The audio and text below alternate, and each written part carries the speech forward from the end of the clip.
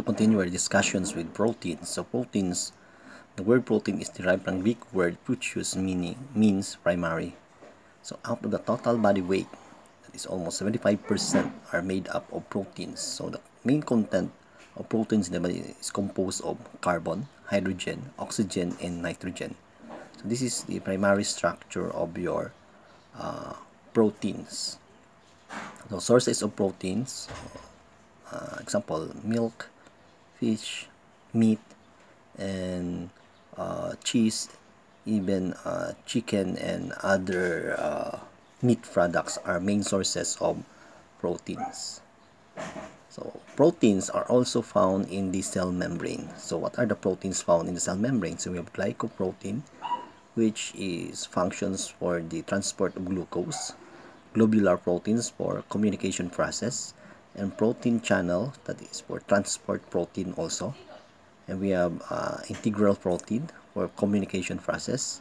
We have surface protein for communication and we have integral the alpha helix protein which is also responsible for communication process.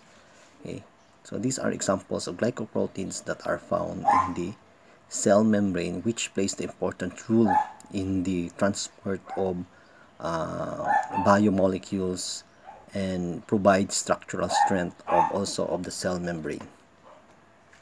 So protein types, we have structural enzymes, receptor, and other functions. Structural, it gives shape and structure to the cell or organelles. For example, yung actin and tubulin. Okay, these are um, muscle proteins or muscle fibers which are responsible for the uh, cardiovascular or muscular contractions and relaxation of the body. We have enzymes we are, that catalyze biological reactions inside the body. So we have your trypsin. So these are enzymes, for example, involved in the digestion of food. We have adenylate cyclase enzyme involved in the conversion of your adenosine triphosphate to um, cyclic amino monophosphate or cyclic adenine monophosphate or known as the CAMP. So receptors binds to other molecules and transmits signals. We have glutamate receptors and we have steroid receptors. So receptors are involved in the transport or binding of different neuro neurotransmitters in our body. So one example of other uh, receptors are beta receptors, take note, alpha receptors, histaminic receptors, the H1, H2 receptors, so these are involved in the transmission of the neurotransmitters. For example, uh, H1 neurotransmitters, these are uh, histaminic receptors which are involved in the um, allergic reactions. Kung H2 receptors naman siya, these are histaminic receptors involved in the uh, hyperacidity of the body. Okay? And other functions like antibodies, okay, nuclear factors, and neuropeptides. Neuropeptides are also uh, functions for uh, communications. And of course antibodies for the immune response and nuclear factors. It's involved in the um, functions of the nucleus. Next amino acids and peptide linkages in proteins amino acids are joined by peptide bond. What do you mean by peptide bond uh, it is composed of one amino acid plus another amino acid string of amino acids are joined together by peptide bonds is called, is called polypeptide.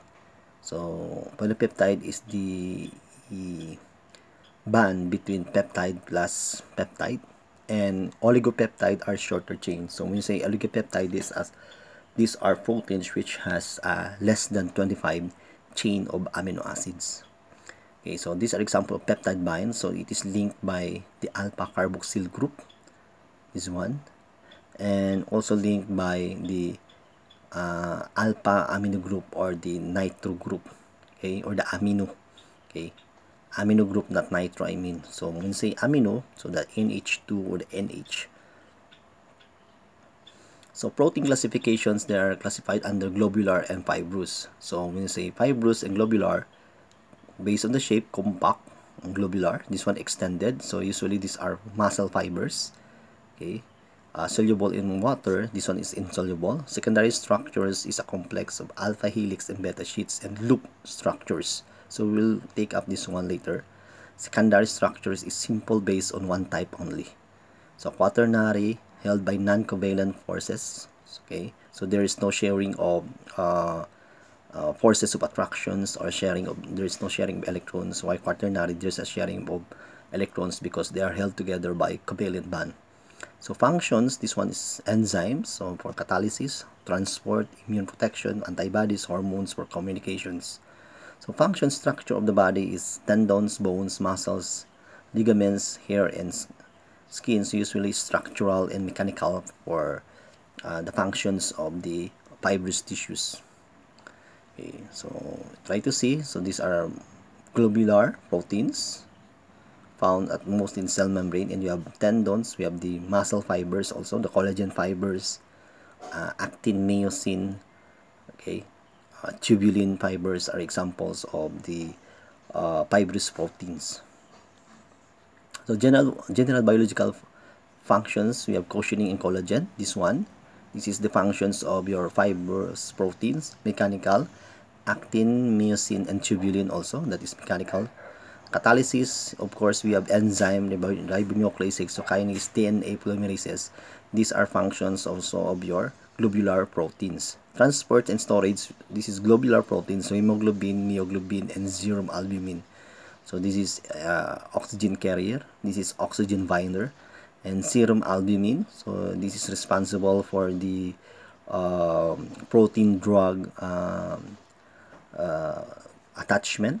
Okay. Uh, communication and defense. So we have antibodies for immune response, peptide hormones for communications, hormones for communications, neurotransmitters for the uh, communications, and of course for vital functions of different organs of the body. Okay, because the vital functions of the of the different organs in the body depends upon the transmissions of neurotransmitters that are being released from the uh, presynaptic cleft. Example, our neuronal cells down to the postsynaptic cleft or dendrites or even the uh, specific tissues okay, that will elicit a response in our body. For secondary, so what are the different structures of the proteins? We have secondary and higher order. So these are the primary structures of a macromolecule such as protein or nucleic acids refers to the sequence of covalently bonded residues along the main chain. So polypeptide chains is a primary structure. So this one is primary structure. Example, the combination of glycine, proline, threonine, glycine, threonine, glycine, glutamine, serine, etc. Okay, so if this is uh, below 25 chain amino acid that is oligo uh, peptide.